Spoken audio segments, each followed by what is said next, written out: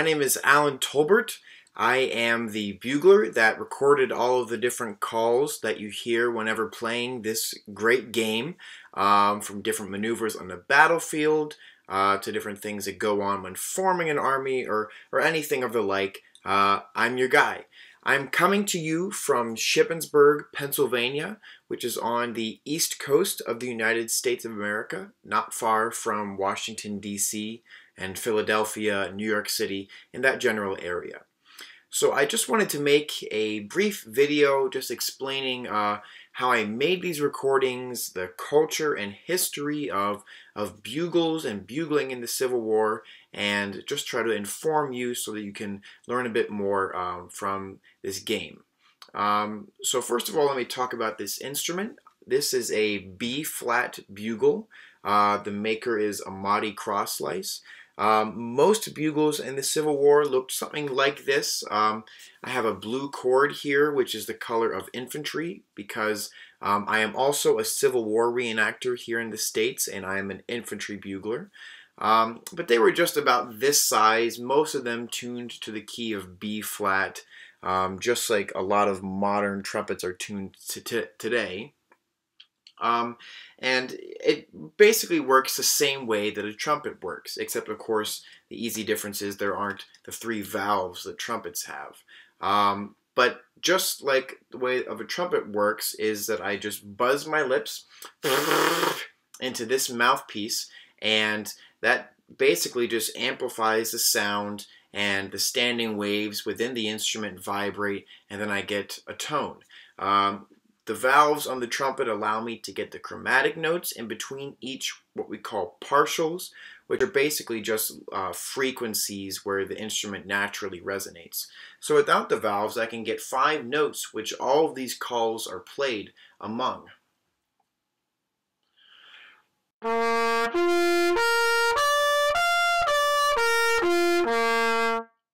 Those five different notes. So the history of so why bugles? Why why trumpets? Why do militaries pretty much all up until the time when we get radios and internet communication why do we all use bugles? Well basically as long as there have been people and as long as there have been wars going on we've had trumpeters and buglers because they can sound over long distances um, in the civil war battlefield particularly if you have all different kinds of sounds going on and all different kinds of chaotic situations, the bugle was really able to cut through all of that um, that chaotic sound. And and if you also think about how you want a message to be delivered if you want to give a unit in the in the battlefield a command to do something and you send a courier or a messenger uh, they could get shot down or they could misinterpret the message and and by word of mouth uh, convey the order that their commanding officer gave to them incorrectly. But with the bugle, the calls are very particular, they're very uh, distinct from one another, and from across the field, the, the resonance that this horn gets will cut through that sound of gunfire and, and all the different sounds going on on the battlefield. Um, so but ever since we've had wars and people, we've had the bugle because it's a relatively easy tool to make. You just kind of fashion some metal and make sure there's no leaks in it, and then you pretty much have got everything that you need. Uh, the history of trumpets basically goes back to the Egyptians, who were the first people to really master the, the, art, the art of working metals and such. So, um, let me just dive into some of the calls that I play. I have a couple books here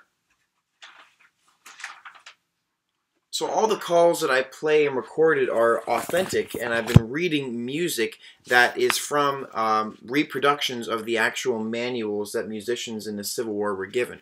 This particular manual, called Army Regulations for Drum, Fife, and Bugle, uh, a complete manual for these instruments giving all the calls for camp and field duty, to which is added suitable music for each instrument, by William Nevins. So this is the Nevins Manual. And when you flip through this book, it has all the different calls for the drum, the fife. Uh, the fife is a wooden flute. And the bugle. uh, for each of the different branches of the military. You have infantry calls, um, you have artillery calls, cavalry calls, and then different tunes for each instrument, uh, basically for enjoyment or music that the soldiers would keep on the march. I also have another manual here called the Bugler's Call Book, which is period correct, that has all the different calls from things that you would play in camp, things that you would play whenever you're drilling, uh, things that you would play on the battlefield, and for all the different branches for the infantry, artillery, and cavalry. Um, so everything that I've played is period correct, and it is the exact same notes and the exact same music that you would hear on the Civil War battlefield, which I think is pretty cool. That you know we have all these things that we wish could uh, transcend time. We wish we could talk to famous people from from history. We wish we could see a Civil War battle, but we don't understand that we can hear it um, and going to a Civil War reenactment is something I think everyone should do if you can get the chance. But what's interesting is that the music that we that they played back then is still alive today.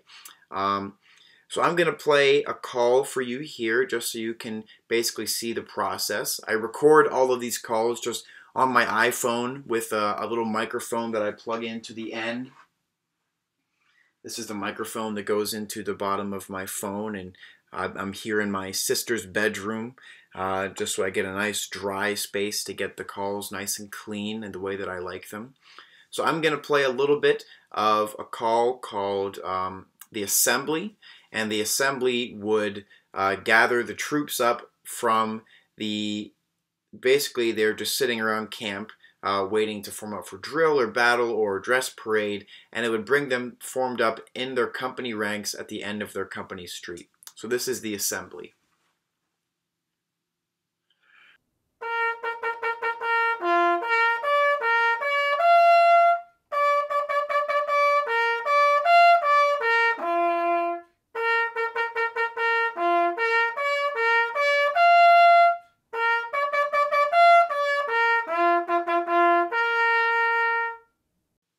So that's the assembly.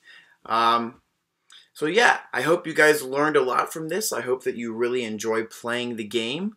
Um, I am going to post my email at the bottom of this video. I might have it up there the whole time. But uh, if you're looking for somebody to record anything for any games you're developing, uh, shoot me an email. Uh, again, my name is Alan Tolbert, and I just wanted to thank the developers of the game for giving me this aw awesome opportunity to record some, some great historical uh, pieces of music and uh, thanks very much.